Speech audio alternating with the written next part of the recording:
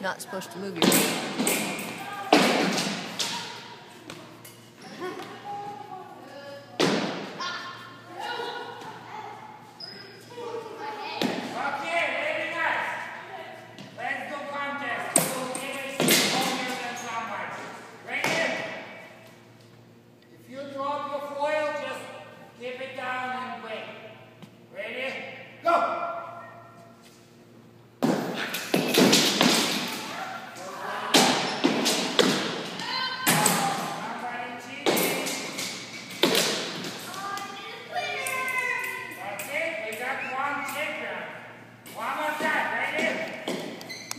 Good job.